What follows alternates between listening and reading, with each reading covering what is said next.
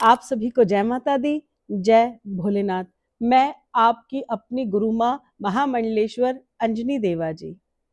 आज बहुत ही सुंदर विषय लेकर मैं इस वीडियो को बना रही हूँ। आप सब जानते हैं कि पिछले नौ दिनों से माँ भगवती की नवरात्रि चल रही थी। और ऐसे समय में एक बहुत ही सुंदर प्रश्न हमारे सामने आया। जिस विषय पर आज मैं आप सबसे बात करना चाहती हूँ। आप सब वीडियो को बहुत प्यार देते हैं। इसके लिए आप सभी को शुभ आशीर्वाद। और आज के विषय को आपको बहुत ध्यान से सुनना भी है और समझना भी है। सनातन धर्म जो है, वो शाश्वत धर्म है, जो हमारे लिए बहुत उपयोगी रहता है। जिस विषय पर मैं आज ये बात करने जा रही हूँ, आपने और हमने कई बार देखा है कि बहुत सारे मंदिरों में, सनातन धर्म में कुछ विशेष बातें बताई जाती हैं जो हमें मंदिर में जाते समय अपने जीवन में धारण करनी चाहिए। जिसमें सबसे पहले अगर मैं बात करूँ तो मैं अपने आज पोशाक के विषय पर बात करना चाहती हूँ। कि हमारे लिए कैसी पोशाक होनी चाहिए और जो पोशाक है उसका हमारे जीवन में क्या महत्व होगा।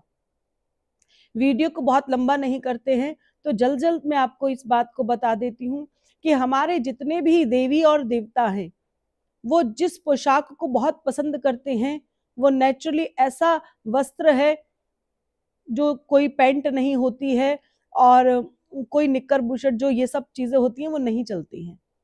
क्यों नहीं चलती हैं, उस पर चर्चा करने से पहले ये बता दूँ कि जो ये आप करते हैं, उसका आपके ऊपर क्या आपको हानि मिलती है।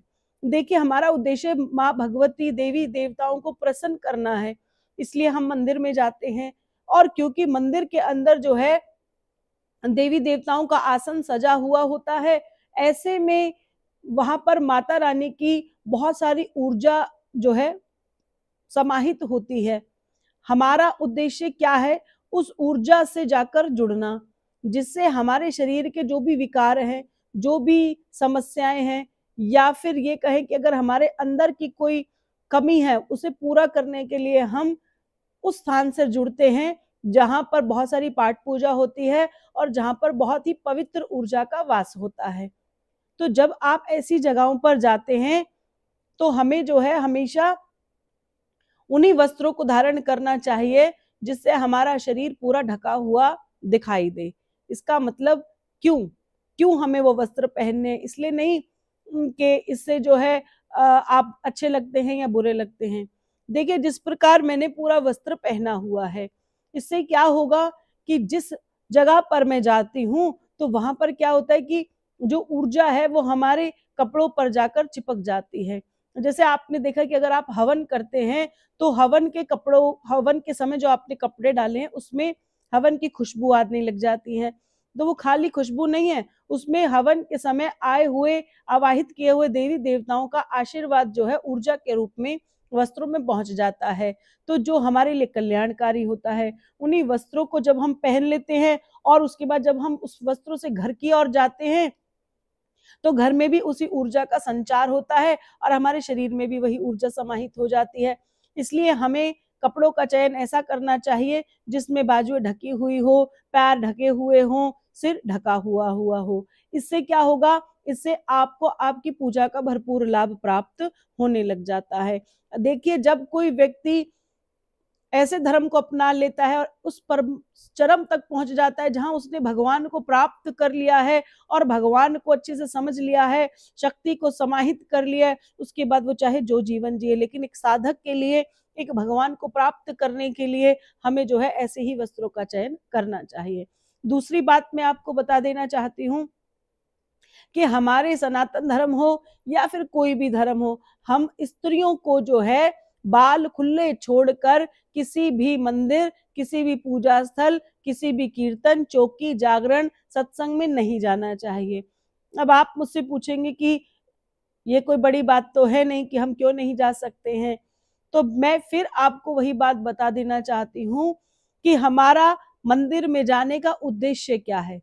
मंदिर में जाने का उद्देश्य है भगवान को पाना, भगवान के प्रति अपने आप को समीपता की ओर लेकर आना, जिससे हमारे जीवन का कल्याण हो। पहली बात।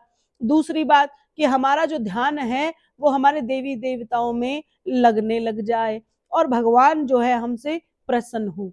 लेकिन जब हम अपने बालों को खुला छोड़ देते हैं या फिर मंदिर में बालों को खुला छोड़कर आते हैं इससे हमारी जो पूजा है वो खराब होने लग जाती है। पूजा जो है हमें शुभ फल परिणाम नहीं देते हैं। पहले बताऊँ कि हमें बाल क्यों नहीं खोलने हैं? क्योंकि बाल खुले छोड़ने से जो भी हमारे शरीर की ऊर्जा है, वह ऊर्जा जो है, वह समाप्त होने लग जाती है।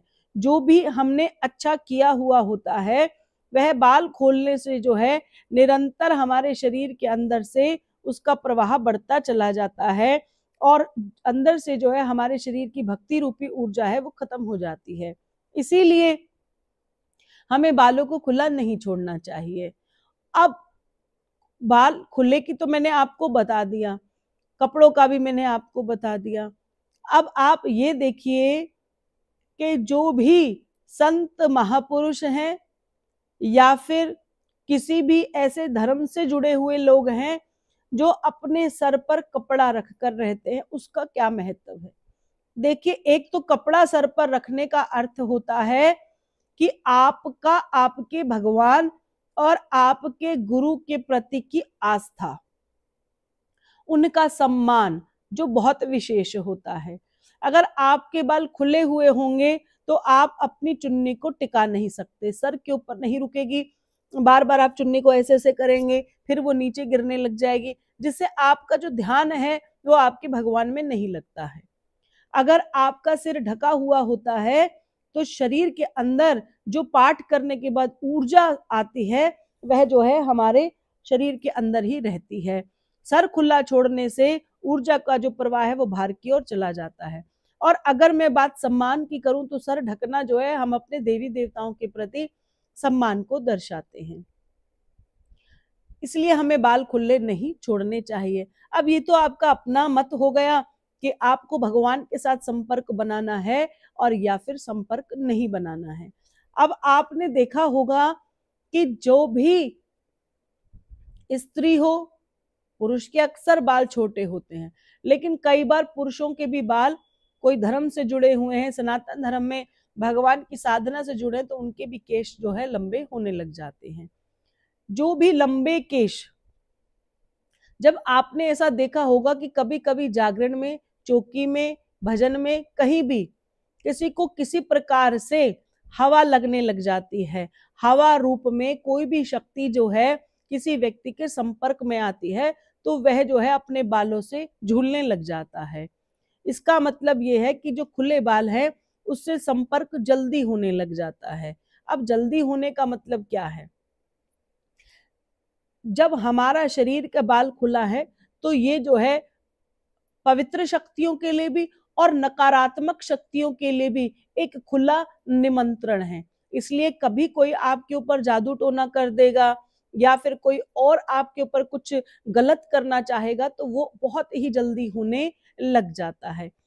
इसीलिए स्त्रियों को अपने केश खुले नहीं छोड़ने चाहिए।